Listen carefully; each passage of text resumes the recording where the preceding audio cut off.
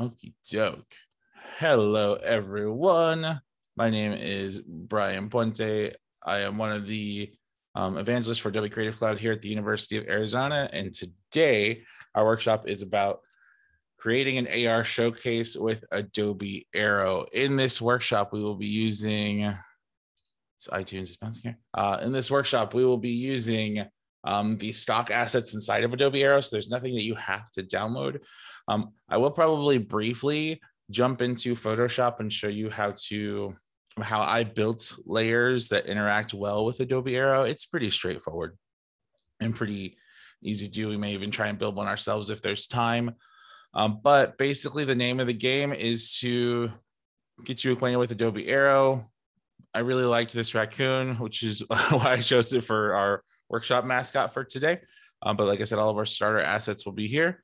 And on our Spark page, which has been linked in the notes and will be linked on the uh, video recording, um, you can see our agenda here. Um, and it's a lot of whenever you're doing working with Aero, it's really about a few things understanding how the interface works, uh, bringing in assets, adding some interactive elements to them, and then um, finally um, working on uh, sharing those assets out so that people can view them and enjoy them. Uh, so basically, uh, if you're not familiar with it, Adobe Aero is a point and click kind of design based way to do, to create AR experiences. Um, with AR, typically you're using a screen to view elements uh, that show up kind of in a real world context. Um, so it's a pretty cool technology. I will show you kind of what it looks like on iPad uh, later, although it does slow down a little bit. Um, but we'll mainly be working in Adobe Aero Beta, which is a part of uh, Creative Cloud, and I'll show you how to get that here in a moment. Um, but we're going to go ahead and get started here. Let me go move this out of the way. Then we're going to go ahead and open up Adobe Aero. No, I don't. My phone. Cool. All right. Sweet. So when you launch Adobe Aero, if you haven't launched it before, you'll be greeted with this kind of home screen that says, let's create some mind-bending AR experiences. Um, so what we're going to do is we're going to go ahead and open up Adobe Aero. We're, we're going to create a new project. I do have kind of a nearly finished project that we'll get to later. We might bounce back and forth between but we're going to create a new project. We're going to bring in and we're going to bring in an element and then we're going to kind of walk through the interface real quick. If that sounds okay there. And again, if you have questions, please ask them in chat. We would love to answer them as we go. All right. So we're going to create a new document. And we're going to call this uh, something that we can kind of get back to easily. So we'll call this um, showcase. Let's call this uh, demo learn how to type first. Demo, showcase. Cool. We're going to hit OK. That's just so it's easier for us to find. And then once we come into Aero before, if you haven't seen this before, or if you haven't worked with 3D programs before, um, Aero is a 3D program here. So if you look on this uh, bottom right left-hand corner right here, you'll see the X, Y, and Z axis. So that means that we have not only width and height, but we also have depth which is the Z axis there. Um, we'll be working with kind of a free floating 3D camera whenever you're working with AR. The interesting thing about it is that your audience gets to choose the angle that they view it at. So we kind of have to build with that in mind. Um, to get started, though, we have this kind of blank space here. We're going to go ahead and bring in an asset and kind of walk you around the interface using that asset. So what we're going to do here is if you if you ha- don't have this clicked already there's this little content button here that looks like a little um looks like a little a file box. Let's click on that. And then we're under starter assets here. We'll make sure that we have this models section selected. And then let's go ahead and we're gonna go down to directable characters. And we're going to go ahead and bring in one of these characters here. I'm going to go ahead and bring in Fern. And all I have to do is click on them. Oops, I think I brought in the wrong one. So you can control click, but you can bring in whatever character you like. And here is a fern. We can zoom in on it just by scrolling. We have this little character here that we can work with. Um, So now that we have this character set up, uh, we're going to go ahead and talk about the interface a little bit. If you look along the left-hand side over here, you will see um, a bunch of different tools. You have the regular select tool in lots of Adobe applications. That's the V tool. I mean, the V key. This kind of lets you, it's kind of like a multi tool. Uh, that's kind of the standard for moving this guy around. So you can click and drag on this character to move it around with uh, V selected. And you can also grab on each one of these little points here. We'll get to this gizmo in a second. Um, but you have the selection tool, and then you can limit the tools by pressing E for just the move tool so that you aren't able to rotate it. Uh, pressing R for the rotate tool, so all you can do is rotate it. And then pressing S for the scale tool, so that all you can do is adjust the scale. The reason why you may want to switch between um, the the ER and S keys is if you only want to manipulate one of these um, variables at a time. If you're using just the V key, you have access to all of them through the different um, shaped widgets here. So it kind of depends on what you're doing and how you're doing it. Um, what's going to make the most sense? If you're just kind of kind of play stuff, uh, the regular V tool is kind of cool because you can click on the character or the object, click on one of these, click on the little square here to scale it up, click on the scale here to square uh, scale it down. And then if you click on the little circle widgets, you can rotate on the um, you can rotate on the x-axis using the red widget. You can rotate on the y-axis using the green widget, and you can rotate on the blue on the uh, z-axis using the blue widget here. Um, but you can see that you might accidentally hit something you didn't intend to hit if you're uh, switching in between all of these different tools here. Um, so using these individual tools may make more sense. So one example where this might make sense is if you were trying to move this and you can move on the x-axis and the y-axis and the z-axis like this. But if you wanted to move on, um, if you wanted to move on multiple axes at the same time, like moving on y and z at the same time, with the individual selected tool, uh, with the individual tool selected here, uh, you'll get these corner widgets that will manipulate more than one axis at a time. So there are benefits to moving stuff around that way. So just so that you know, the tools, that multi-tool is really great. I'm just hitting Control or Command Z to undo a few times. Um, is great for kind of moving things around. But if you want to move, if you want to adjust either um, the position, the scale, or the rotation on multiple axes, using the individual tools may make more sense. So like for this, for example, if I wanted to rotate, uh, and the rotation one just gets everything else out of the way and just lets you rotate on the different axes as you need to. So it's the only one that's a little different, but you'll see these little uh, circles to kind of help you get an idea of where you're at in perspective with those tools. Cool. Any questions so far? All right. So you'll notice there's a little break here. We have the tools to move an object that we select, right? But below that, we have the tools to move the camera. So um, 3D is always a relationship between the objects that are in front of you and the camera that moves around those objects. Um, so we have this first tool, which is the orbit tool. The orbit tool will move around whatever the center point is as you click and drag or if you're on an iPad looking at it as you kind of pull your finger around, you'll orbit or circle around um, the object or objects that you have selected. The pan tool is uh, number two. These, these are labeled one, two, and three as far as keyboard shortcuts go. Two is the pan tool, and that just allows you to move the camera left and right and up and down from its current position. So think of it like if this was on a tripod, you're moving this imagine you're raising the legs in this imaginary tripod, lowering the legs on it, or moving it left or right with the pan tool. Okay. And then um with the third one is dolly.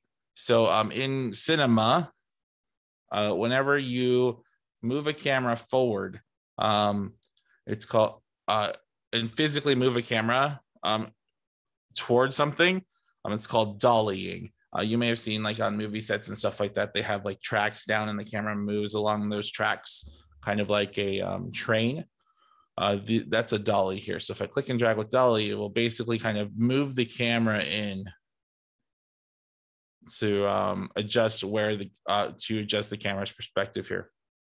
So um, it's kind of the it's kind of like a zoom, but think of it less as like we are rotating a lens to um, increase how it's magnified, and more we're moving the we're physically moving the camera in a constant direction forward. Cool. All right. Sweet. Any questions on those tools for rotating or panning or moving around? Again, the if you use Aero a lot, keyboard shortcuts one, two, three, and uh, ERSV are can be super helpful. But if you don't use it too terribly often, just click on the ones that you need. It's totally fine. Um, keyboard shortcuts will make you faster in the long run, so it might be worth learning them. Um, so up top here, you'll have above all of this, you'll have the plus button to import. So as you, if you have other three, there are some 3D assets in here, but if you bring in your own, or like we'll show later, you bring in a Photoshop document, um, you can hit the import button to do that, and then it will pull up your standard pick a file to bring in type of uh, screen here. You can see all of the formats that are available here. There are tons of different 3D formats. Uh, you can bring in JPEGs, you can bring in um, Photoshop documents, you can bring in um, even zip folders that can unzip into other things. Um, the all Aero files are real files, but there's tons of different things here and lots of different ways you can play. We're really just going to scratch the surface of what's possible here. Alrighty. So we already talked a little bit about the content tool here. If it's blue, it's selected. So if I wanted to hide this, I could just click on the content box to remove it. This bottom one right here where there's a little person running is a behavior. We'll get to those in a minute. Um, but let's go ahead and move over to the um, right-hand side here. Um, actually, let's go back to our assets here. We have all of these starter assets um, that are available here, and you can go through different ones. As you do, you'll see there are tables, chairs. You can kind of build your scene out all together. We'll build a small scene in a minute. Um, but as you select these, you'll see there are letters and things like that. Um, but as you go and through your different options here, and our, our page has it listed a little bit better um, visually, but you notice that some have little icons in the bottom right hand side. That means that these have animations that are built into them that were made by whoever created the content that's there.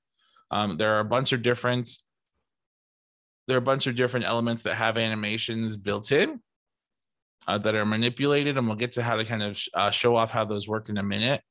But if you see a little icon on the bottom right hand side, that means that there are animations you might be able to use.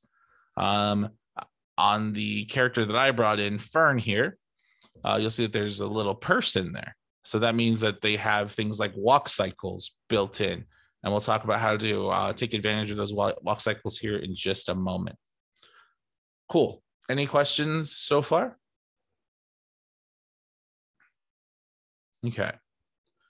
So uh, next up then, we have the actions panel on this right-hand side. So with actions, uh, this is basically when you have an object selected, you will get things like, uh, you'll get options like removing the object or duplicating it, or aligning a selection to multiple things, or even reverting the selection to the original size here. So if you make something too big, you can hit this button, we'll scale it up and you'll see that this character is actually pretty tall. We scaled him down quite a bit, uh, but you can always undo that and the reason why that's but that button's there is a lot of the things you're going to use inside of um, a lot of the things that you're going to use that are stock inside of Adobe Aero are built really well in 3D, but there may be some things that you run into that aren't built so well. So if you scale something up too big or down too small, there may be some polygons because these are all made up of because this character here is just a bunch of 3D kind of shapes and curves that are put together with textures on them. There may be some polygons that like didn't turn out right that don't scale up properly or don't scale down properly. Um, so having the ability to kind of revert to what the original state is may may save you a little bit or may let you know that maybe I need to find a different asset.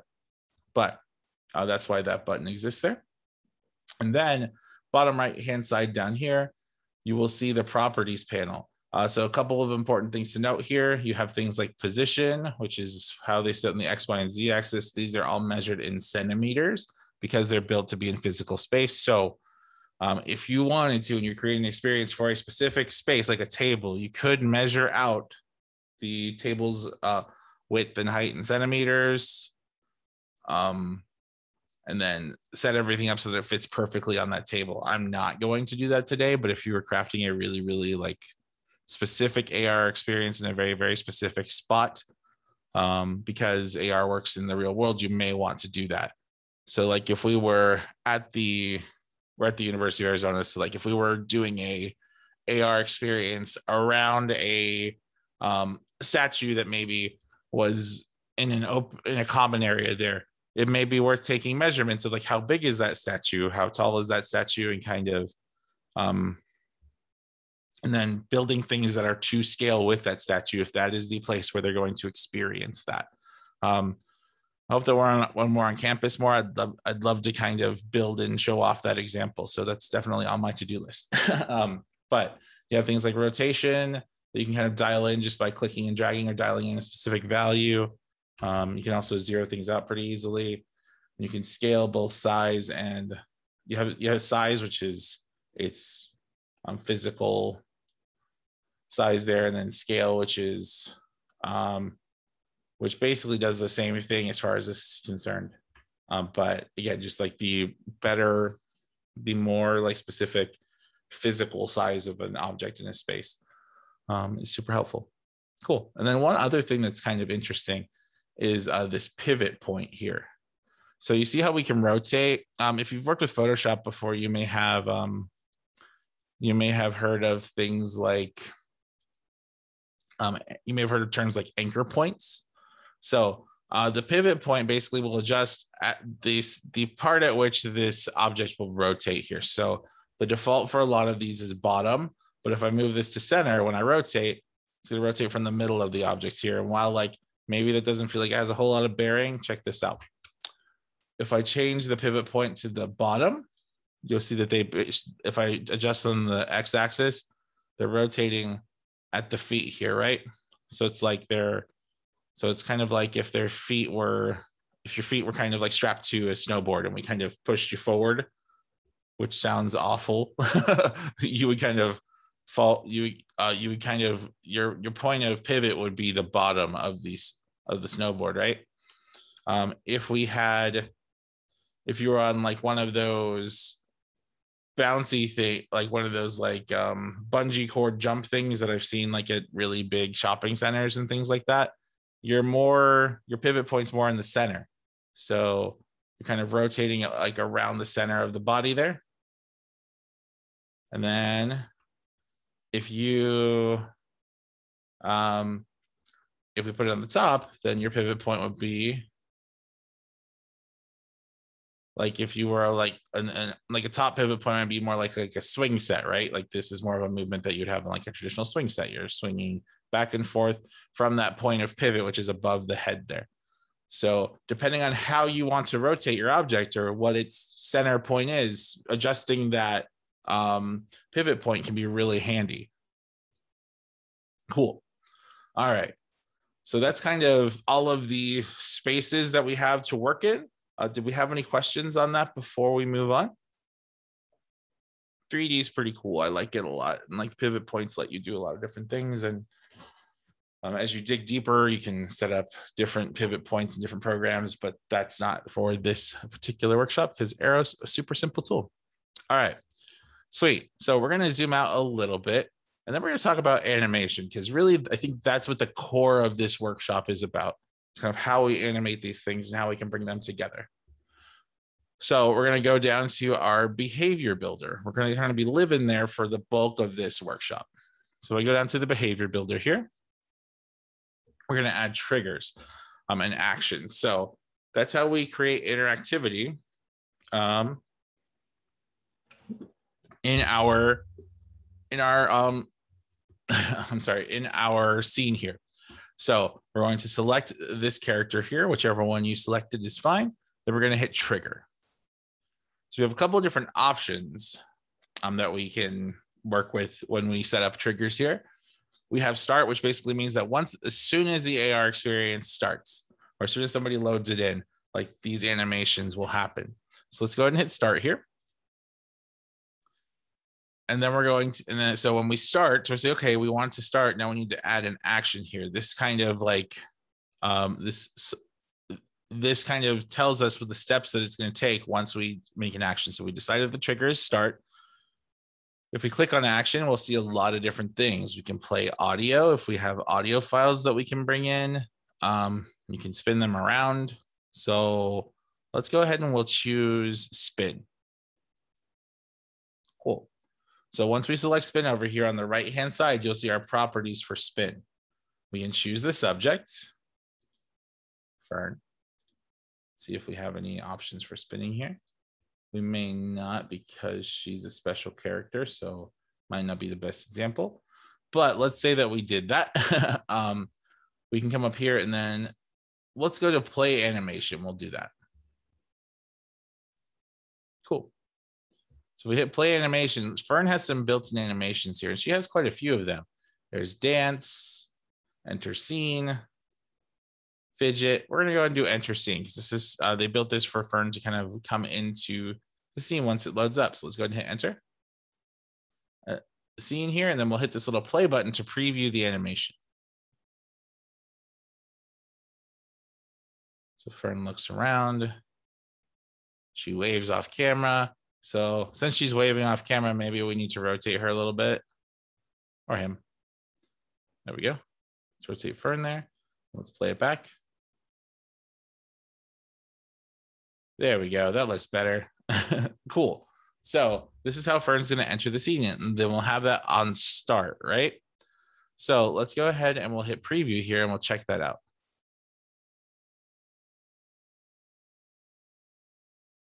Cool.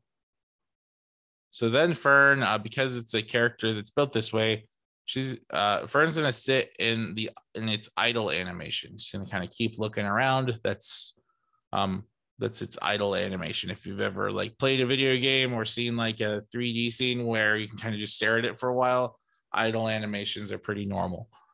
So it's going to kind of constantly do that idle animation there. Let's go ahead and we will have Fern do something else. So we have it play the starter animation. Then let's add another action here. And then we're going to have it play another animation. And then we will select a different one. So we can choose dance. Let's go ahead and do, we'll do dance. And then we'll hit play to kind of see what dance looks like. Cool. So we have it playing the uh, entering animation here. And then we'll go to play the dance and then we'll see that we have some options down here. We can adjust the speed of the dance. We can adjust how many times that Fern dances. Um, and we can also set it to set Fern to infinitely dance if we want. I want to go ahead and have Fern dance twice. And I'll set the delay here. With no delay, it will just kind of roll into the uh, animation right away. Let's set the delay to two seconds. And we'll hit play. We'll see what it looks like. We'll go back to preview here and we'll kind of see what the whole entire thing looks like and we'll see how it goes. So there's Fern, turns, waves, and then two second delay starts to dance. Sweet. Cool. Not bad, right? So because Fern has all these animation built animations built in, they're there. We're gonna go ahead and set Fern to um we'll have Fern we'll lower the delay to like 0.5 seconds. And we'll have Fern dance like maybe three times. So Fern will turn and do that. So then we have that set up, right? We can also set up multiple triggers to have Fern do um, a different set of things when we interact with Fern. So if we go trigger here, let's go ahead and do um, tap. We click on tap here, and this is something that's unique to these characters that have walking animations. We have this uh, option that says move to. So when I hit move to here,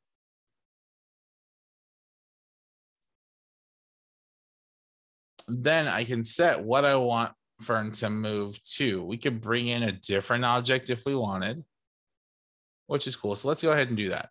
Let's come down here to our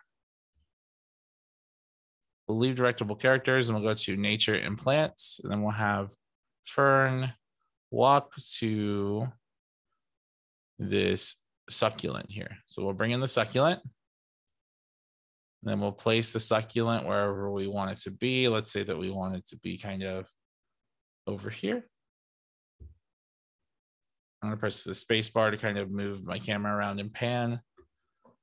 Um, I can orbit if I want with zero to kind of see what that looks like. Press uh, two to pan, move around. Then we will press V to move this fern just kind of over here. Cool. All righty. So now that we have this fern set up, we'll go, and we don't really need an action on the fern. It can just stay there. We're going to go ahead and click on fern again, and then we're going to hit move to once more. And then when we choose location, we'll see that we have some options here. We can set it to the scene anchor, which is the center of the scene here. We can have it move towards the camera, which could be cool if you want something to follow the camera around. But we'll select succulent for now and then we'll preview it to see how that movement looks.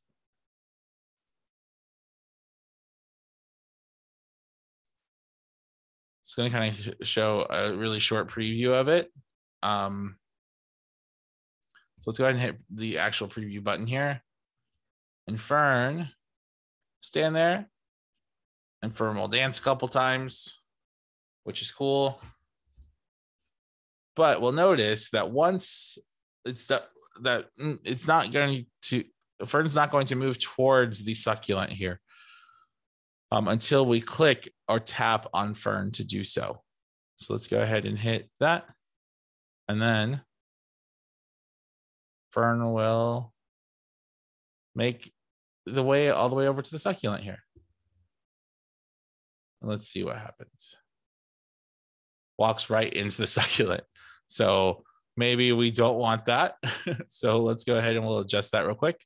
So to move to, we will move Fern just a little bit here. Let's see what that looks like. We can just click on Fern to even interrupt those idle animations and see here.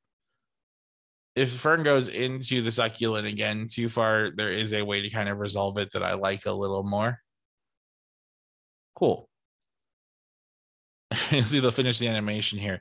The way that we offset that, by the way, um, was under move to. We adjusted the distance between by uh, by the them by a little bit. So if I do like 12 centimeters, let's try that. Hopefully it will make it so the fern doesn't walk into the succulent. Because because succulent is a thing in real space and that there's and there's depth and we don't want for him to kind of climb into it necessarily. Cool. So that works okay. And we're standing still kind of standing right outside of it. But I think that there's a better way to do this. Um, and I, I chose the succulents because you can have them map and walk to a thing. But I think that there is a more effective way to accurately place these objects right where you want. Um, yeah, uh, I, I like that too. And that's because we didn't let the animation complete here. So when we if we click on Fern, if we click on Fern while Fern's dancing, um, Fern will finish the dancing animation once uh, Fern gets where she's going. So uh, what we'll do here now is we'll adjust the move to here. And we're going to talk about um, something that's a little bit more abstract is, uh, than a shape here. So next to location, you'll see a plus button. If I click on the plus, plus button, that's going to add a pin. The pin will drop kind of arbitrarily in front of a space. But if we click on the pin, we'll notice that it has the same X, Y, and Z movement uh, that everything else has. And with this pin, we can a bit more precisely place where we want Fern to land. So if I select right there, I move the pin, then I click back on Fern, and then I adjust the move to point to the pin. Then I'm not super interested in um, adjusting the distance between it because that's exactly where I want Fern to land. I'm going to, uh, we can adjust the delay here, but let's go ahead and hit the preview. And now when I tap on Fern, Fern will immediately walk over to the pin that I've set up and I can see the pin right there. Cool. So that pin will allow me to better kind of place Fern where I want Fern to land. Cool. And Fern's just going to stand there. Uh, we can go back in. If we wanted to adjust the animation here, maybe we want Fern to always dance. We can set that to infinite. And then if we preview it again, first to say hi, then Fern's to dance. Cool. I'll have Fern kind of move the way over to the point.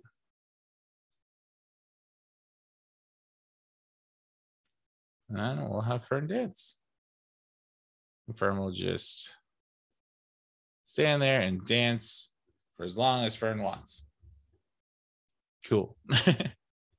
and the reason why Fern kind of stops because we have a delay on there. So if we turn off the delay, and then um, let's have Fern move a little faster here. So under the move to, we can adjust the speed. And Fern should move over there a bit faster now. Once we select, we'll let Fern wave and say hello. We'll click on Fern. You see that as we adjust the speed, because it's kind of dynamic, if we set it really high, Fern will almost sprint. And then Fern will dance. Cool. Fern is fast. but any questions so far? So um a lot of these built-in animations will really help you um, create movement inside of a scene, which is pretty cool. Um, so, and then the other trigger that's available for us is enter proximity. So just like the places that you put on a scene, the camera has an X, Y, and Z axis as well. So that when your camera moves to a specific point, something will happen here. So let's try that out with this succulent actually. Move the succulent off just a little bit. I'm gonna add a trigger. We'll call it enter proximity. We'll make it perform an action and then we'll make it kind of grow we'll have it scale. So if you go to scale here, we can adjust the scaling and we'll have it grow maybe under scale multiplier. We'll go ahead and have it scale to be maybe two times as big. Let's see what it looks like. And maybe we're trying to make it emphasize itself once we get close or something like that. Um, and then when we have enter proximity set up. We can set what that proximity is in centimeters based off the camera here. So let's go ahead and have, we'll have the camera get like within 10 centimeters here and we'll see what that looks like. If we go to preview, we will orbit and then we'll move the camera in. Once we get close enough, you'll see that this kind of grows and gets bigger and Fern's still doing their thing. Come Fern, it'll run, she'll run over.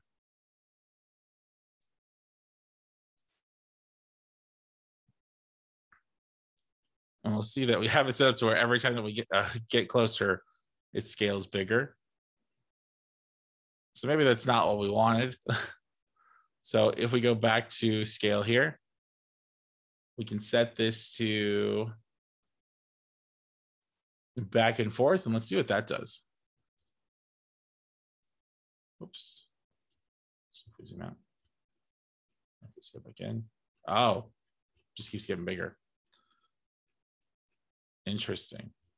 So maybe scale is not the thing you want to do with proximity. maybe a click is smarter for that.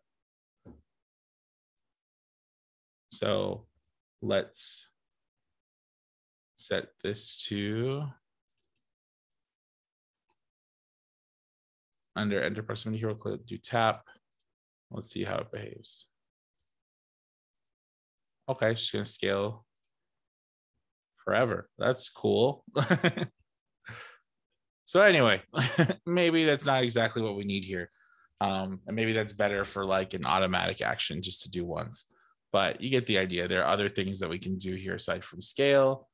So if we have it spin, for example, maybe that's a little better. The thing we have this spin around, do a little twirly, maybe trigger it so it can kind of dance with Fern. Kind of fun. You can get to control that. Sorry, I hit a button and zoomed out pretty far. But you can have these kind of interactables that we can click on or move into. So kind of cool. Awesome. Making sense so far? Any questions? All righty. So now let's talk about building the showcase part of this. Um, I really, one of the cool things that Aero can do is it can allow you to place 2D objects in 3D space and kind of set them up so that they are um, presented to your viewer in a way that's pretty easy for them to see. Um, there are tons of different applications to this, everything from literally showcasing a, uh, something that you're working on to um, creating educational elements that um, educational elements that can be used in classes and stuff like that, and even remotely for people through a link on their phone. Um, so let's go ahead and we will, I'll show you kind of how you might get started doing that. So uh, if you're using your own assets, you'll go to the import window here, but because we are using our internal assets, we'll go to um, our, we'll go to our contents page and we'll click on this little guide to get to images. And we'll go to layered illustrations here. So these layered illustrations are Photoshop documents um, that we can kind of manipulate and work with to um, either show the depth of a Photoshop document or add some depth to what we're doing here. So let's go ahead and we will grab this nature. Um, this nature illustration here. And then if we zoom in on it and we and we orbit around just a little bit, we'll see that this is kind of um, this is all very very flat if we turn to the side here there's no depth to it um, and so this is a photoshop document all of the all the layers are flat um, but there's some things that we can do to kind of give this some depth and even maybe have some things happen inside of it so if we click on the selection tool here click on the layer and then we'll go down to um, under properties, we'll see that we have a new option called layer spacing here. So because this is a Photoshop document, it's a bunch of different layers. So we can adjust spacing. I'm gonna go ahead and offset the angle just a little bit here. So it'll be a little bit easier to see. So we can adjust the layer spacing in the X, Y, or Z space here. So if I adjust it on X, we'll see these things kind of slide apart, right? These are all different layers here if we fan them out far enough, and I zoom out a little bit, we'll see that we have one, two, three, four. I think it's either three or four layers here um, that we can adjust on the x-axis. It looks like four layers. We can adjust it on the y-axis, so how deep it is if we wanted to kind of separate like that. But um, I think X and Z are probably the best to use. Oh, I adjusted size going to layer spacing. I like Z because it gives us some depth here.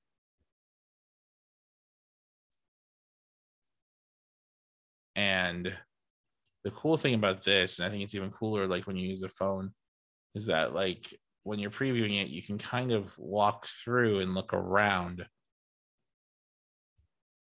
the scene here, which is super cool.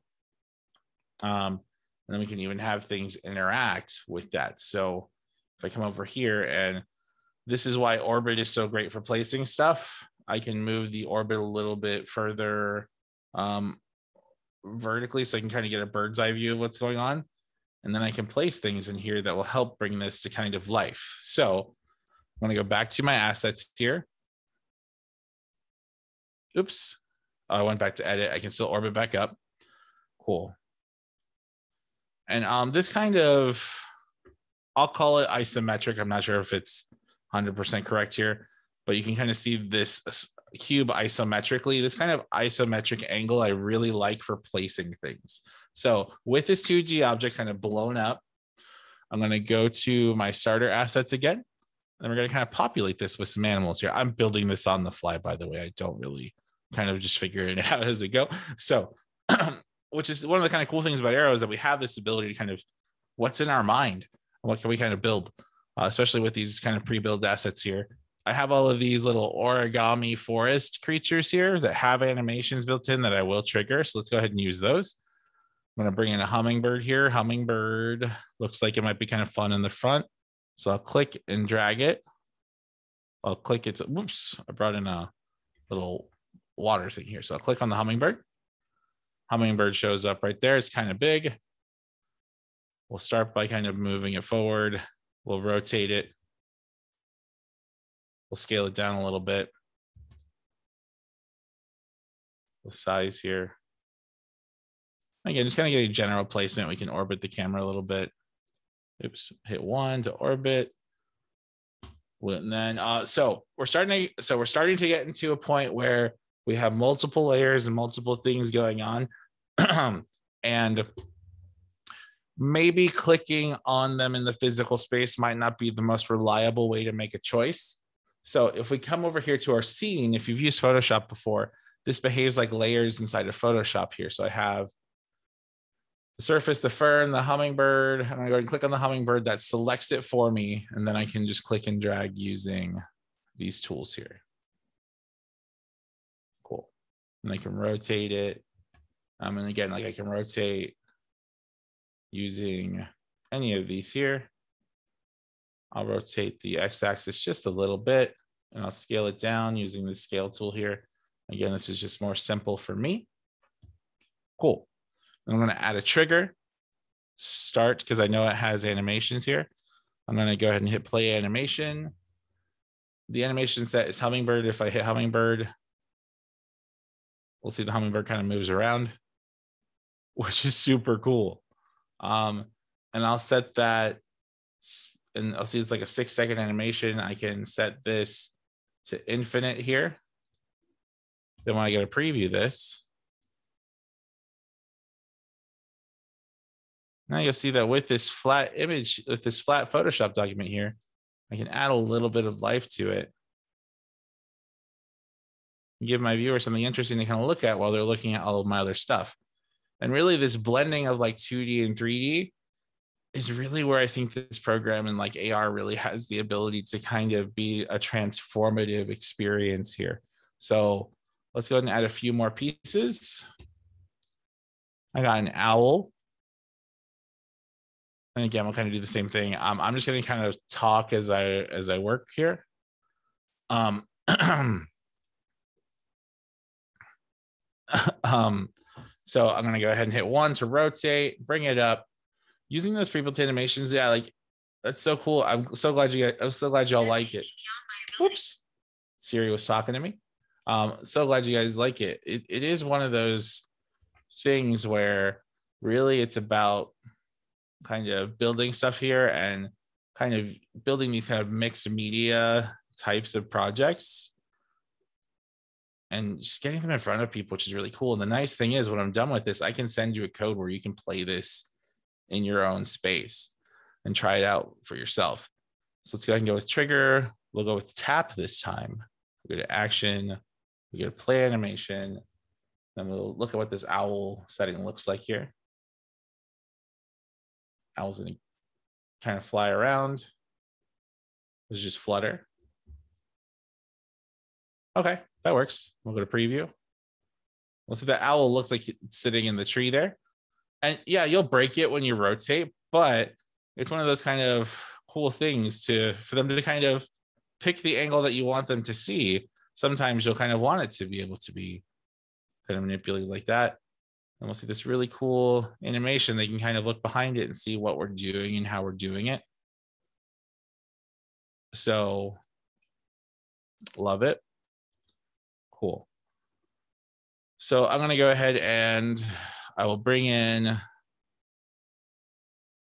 um, a couple squirrels. That's a really big squirrel. And then we will rotate one time. All right. Move that over here towards the back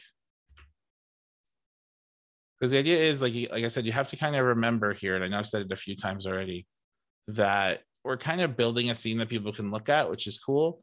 Um, but they're they're also going to have the ability to kind of zoom in and like physically move themselves to see the parts that they want to see. Um, so maybe adding using these kind of pre-made things to add a little bit of depth can be cool um, and allow them to kind of find Easter eggs themselves uh, which is what I always like. So we'll play this animation and see how it looks, make sure that the squirrel's not running into anything, which is cool. Cool. So that works for me. We're going to go ahead and make this infinite here. Play. Sweet. So now that I've done this work, what I can do here is I can take this squirrel, then I can duplicate it, create another squirrel, move the squirrel over here somewhere, maybe. So I have a couple different squirrels running around. I'll rotate it a little bit. Um, and then I will set this to infinite, but I will switch, I'll put in a little bit of a delay so that they're kind of moving at different times. So like 0.3 seconds here. Then I will duplicate it one more time. Maybe put a squirrel up in front because they don't need to be in the sunset, I don't think um, of this little image here. Um, and then we will set this delay. Once I select it here, under play animation, I'll set this delay to 0.4, but I'll adjust the playback speed to be just a little faster, so like 1.2. You can adjust whatever you want. Let's do it two times as fast just for fun. Cool. Then if I get to preview this,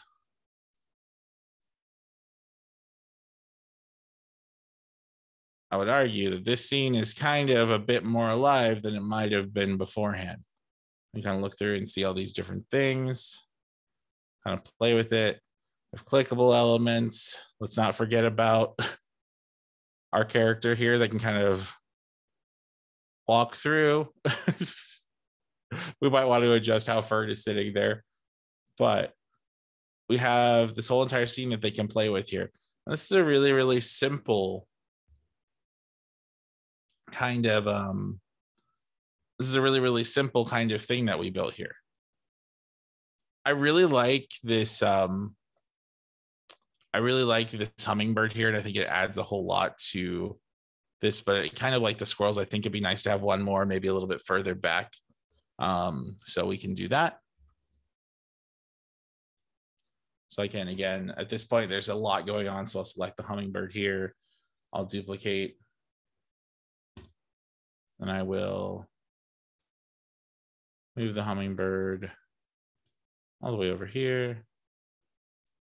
Move it towards the back. I'll rotate it a little bit. And then just so that it doesn't, because if I go ahead and preview this, like it's gonna look kind of robotic because they're it's gonna look like they're synchronized, like they're synchronized because they are. So let's go ahead and adjust that synchronization a little bit so that it feels like it's more natural. So if you select this, then we go to our, uh, make sure that you have the behaviors turned on, play animation. Um, we can adjust the speed here. So I'll have this one fly a little faster just to kind of offset it a little bit. And if I preview it, you see they kind of look like they're darting individually and you can kind of play with it even more to dial it in how you want. Sweet. and Fern, like like like I said, is over there and still kind of grooving. But does this process make sense more or less? Any questions about what we've covered so far?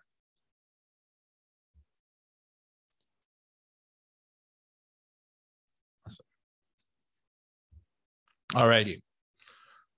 Cool. So what we're going to do now um, is just to kind of show off this option here. I'm going to go ahead and bring in this little origami sun here. And I'll switch to one where we're kind of closer to being finished with the project, but brought in this little origami sun. Should adjust this so that it's a little bit easier to see uh, what I'm working with. Then I'm going to adjust the position of this using the move section here scale it. I'm going to kind of move it to be in line with this background, I suppose. You could use whatever you wanted. Um, if you found like a sun asset that you really liked, you could work with it. I'm going to adjust the pivot point to center because pivoting on at the center of this makes more sense for a sun than pivoting at the bottom of it, which is this is actually pretty, I think, decent example of how these pivot points work. So when I rotate from there, especially on the x-axis like the sun doesn't swing would not swing like that. I guess if you had like a mobile or something like that that you're trying to emulate maybe that would be cool. Um, but i really want this to rotate from its center point. I can scale it down. This is all stuff you can play with and like super super simple like physics types of things. Like where would something rotate if it were just kind of like if it were suspended in air or what have you? You can kind of think of that stuff as you're working so I'm gonna go ahead and put the sun back here. Maybe have it kind of peek up in front of those clouds. Then I want to show you one other trigger that I think is super cool. Um, I'm gonna go to start, action, and then I would like this to follow. And I want this sun to follow the camera so that it's always kind of forward facing here. Because if I rotate around the sun, I don't really want you to see like this, these simple polygons in the back. I always kind of want the sun to be facing you for whatever reason in this particular application. But you can do this with anything that you want to be facing your viewer. So under follow, set the center point to what makes sense for it because this will rotate, pitch, and shift and move around. Um, and then I will set the subject to be the sun. And then I would like this to follow the camera think I should be able to do that. All right. Maybe it doesn't like something I did. There we go. Um, so follow here. This is a beta. Oh, sorry, aim. That's what I meant. Aim. Aim will point it at something. So we're going to have it aim at in order to choose the target, and the target is going to be the camera here. Sorry, I got that wrong. It's aim. So when I go to preview, we'll zoom out. That looks cool, but you'll see that as I rotate, the sun will always follow you. So maybe that's not 100% what you want with the sun, but the idea is that if you had something that either had geometry that you didn't need people to see or you wanted something always looking at you, you could do that pretty easily there with the aim tool. Cool. Making sense so far? Any questions here? Hopefully, we still got everyone. Pretty cool, right? Awesome. So now that we've kind of built this out, um, when we're ready to share it, it's pretty easy to do. We can hit the share button over here on the right hand side. We can create a link. That gives you the approximate size of this. We can also export this out as a .real file if we were handing this off to somebody else to work with. But I can copy this and paste it in the chat. And then you can try this out yourself.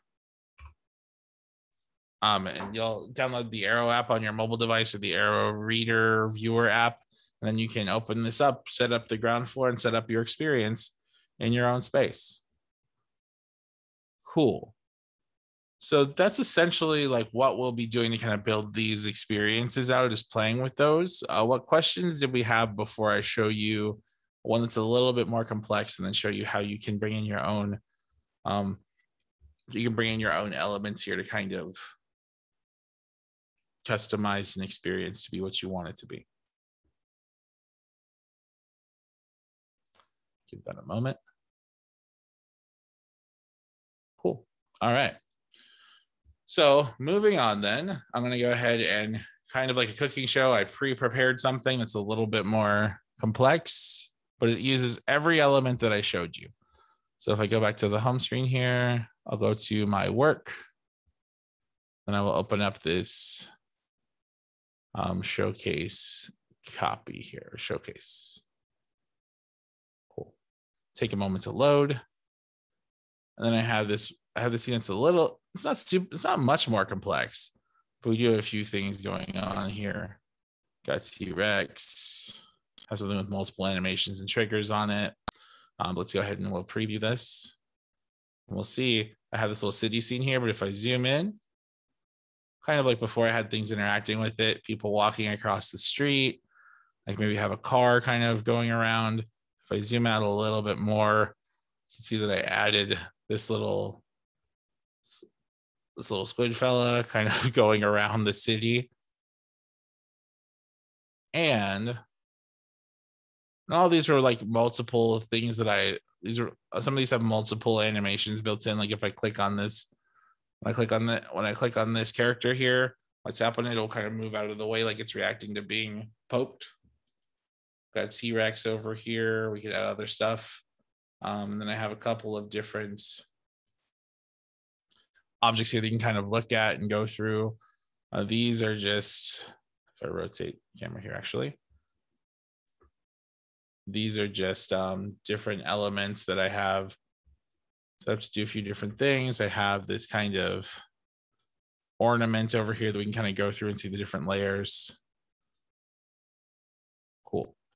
And then I have this little object right here that will take me to a website. Um, so let's talk about how we did that. One of the triggers that we have if we go to the edit menu here and go to our behaviors, and we click on this Adobe Aero 1 thing here, it's a Photoshop layer. So I think I offset the X spacing by quite a bit. So let me go get that back down to zero. Cool. If I zoom in on it,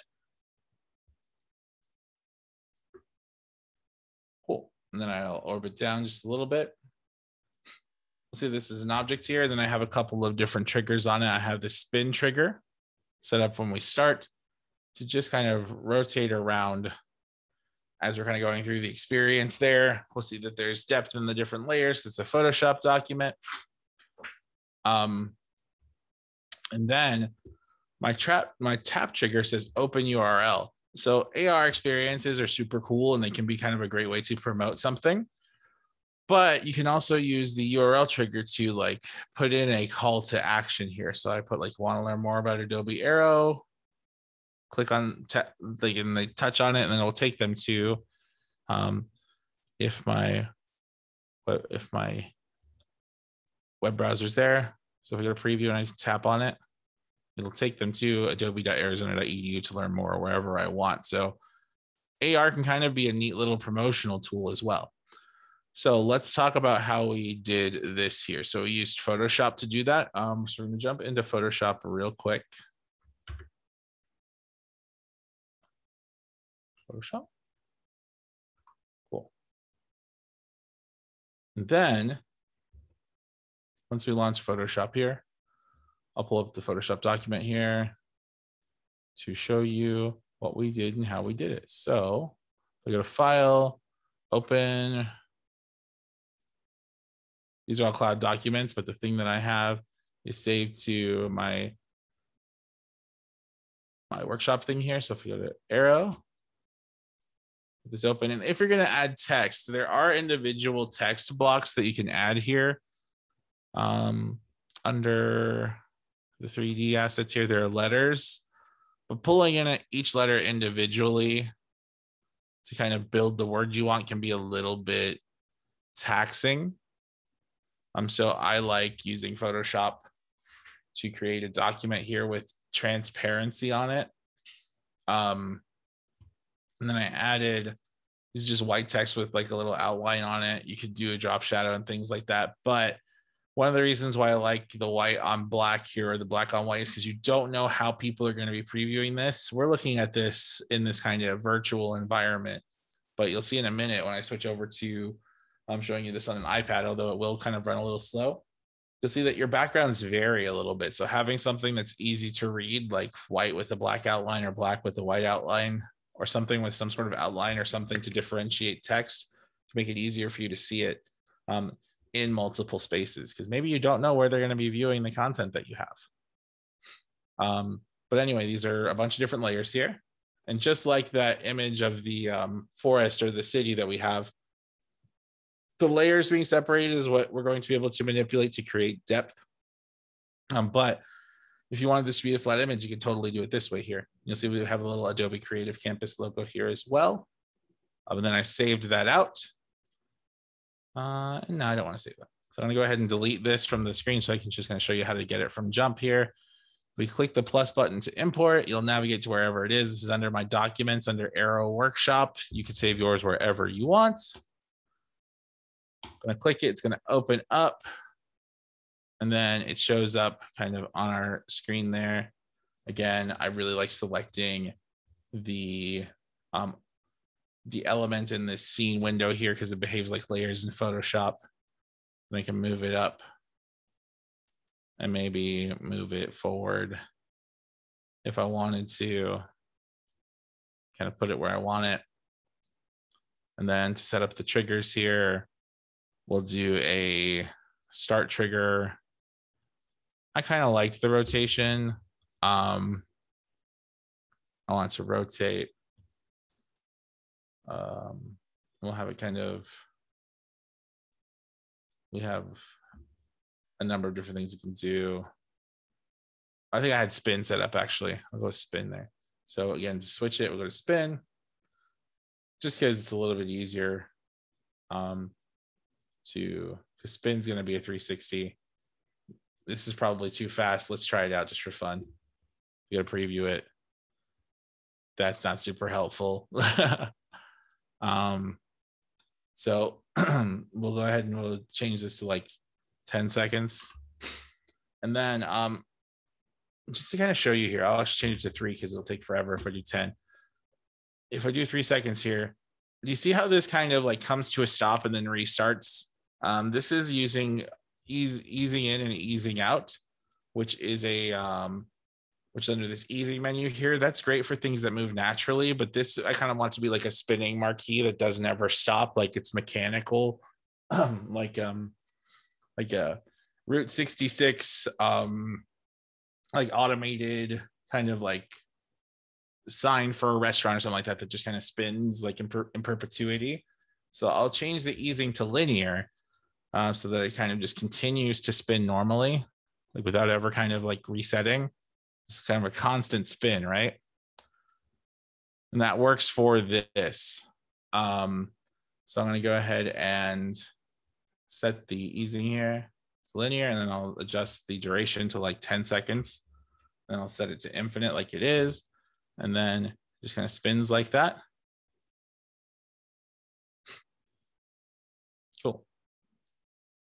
Um, then I'll go back to edit. Then I will add a trigger so that on tap, we set the action to open URL. And keep in mind, you can always adjust this action right here to whatever you want. And then you'll just pop in the URL there. So adobe.arizona.edu, but it can be whatever you wanted. Um, and then once that's set, we can set multiple ones. Um, we can even set multiple triggers to happen at the same time. I believe I did that with this guy right here.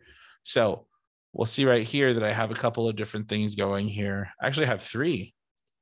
Uh, so I have this play animation here. And the animation for this is really cool. Like it's super fluid. Let me get a little closer here. So if I hit play animation, this little kind of like mechanical floating squid thing is happening, right? So I stack that, this is under just start here. So I stack that looping infinitely with this orbit here that loops infinitely. And you'll see that if I preview it, it just kind of spins around here.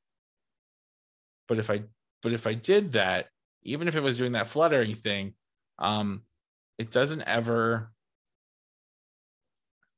like I don't see any change in the pitch there. So like it, it would look like it was just kind of fluttering one direction, which would be um, not the best. Actually, let me duplicate that and I'll show you.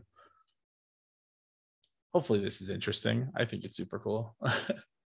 um, and actually, this is a good time to show off another feature that you have. You have the ability to hide and show options here, just like in Photoshop. So you can hit the little eyeball here to hide that jellyfish layer altogether if you didn't want it. So let me go ahead and I will show you what this would look like if I didn't have this rotate on here. So I'm going to select it and delete it. I'll go to preview. And If I didn't have that rotate turned on on this, then you'll see it just kind of, while it's cool that it's moving around, there's no motivation to like how it gets back to where it does. It's like it's like um it's stuck in this kind of whirlpool that's just moving it independently and it really doesn't have any control over its own trajectory here. So what i did to kind of mimic that and you don't have to get this involved this stuff is cool to me and i have a good time with it. So um what i did to i'll go ahead and hide this one show the one that i finished is i added a rotate here. So let's check out the rotate on its own so see that like over five seconds here, it rotates from left to right and then back again. So if we combine this animation with this orbit and this rotation, again, it's timed here. I knew that this was 10 seconds here. So I wanted to kind of tilt this way for five seconds. Then when it hits the back, it tilts the other way for five seconds and comes back. So it's set to infinite. Um, I have the ease in and ease out. So it kind of smoothly transitions back. And, and then I have back and forth turned on so that it tips to one side, then tips back. And then when that's all together, that does this, which is super cool, I think. Awesome. Okay. So I'm to go ahead and I'd love to share this with you here. So I'll create a link so you can try it and then I'll jump on the iPad here and show you kind of, it'll, it'll be like the frames will be pretty limited because we are kind of doing this wirelessly. Um, but I'll show you what it looks like in a real space. So let me go ahead and paste that there so you can try it yourselves. Let me go ahead and share my iPad screen here, and then I'll show you how this would set up on the iPad, and we'll kind of walk around it. And then um, we'll answer any questions that we have, and then we'll call it a day. So let me go ahead and wake this guy up.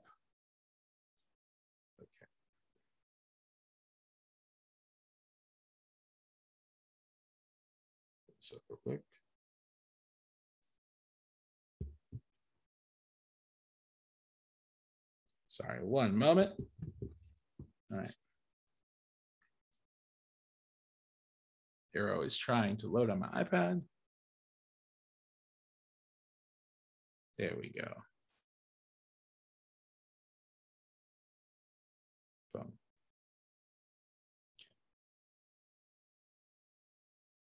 So let that open. Go ahead and share my iPad here. And there will be a little bit of a delay, I think. Um, let's open AirPlay there.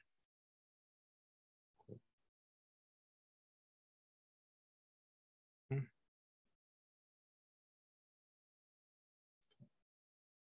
And we will mirror our screen. Cool. All right. So with this load. Copy. So when you have your scene here, you'll have to place it.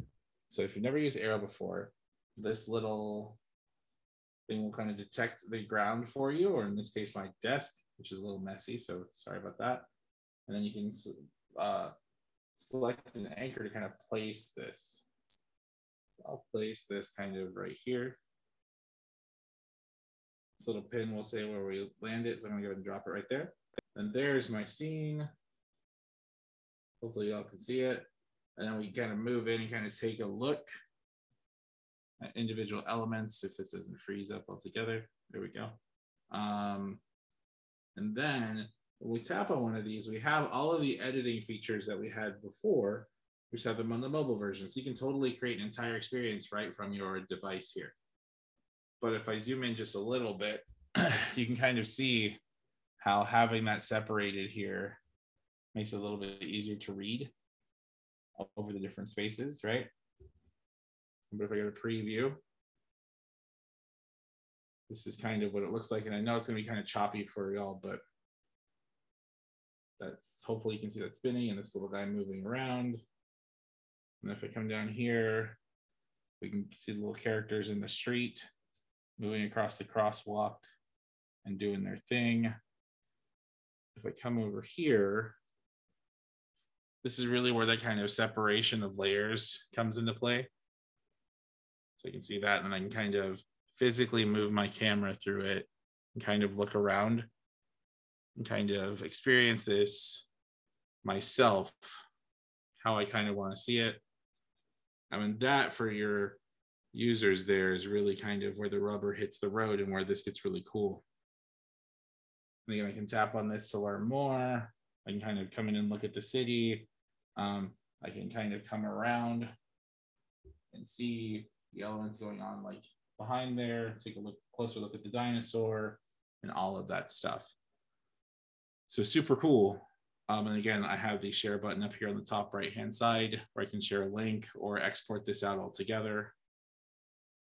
But everything that I showed you inside of um, inside of Aero on the desktop is a, is a, more available and um, a bit more even a bit more stable than it is on the um, desktop here. So because Aero was initially built for mobile devices to work on.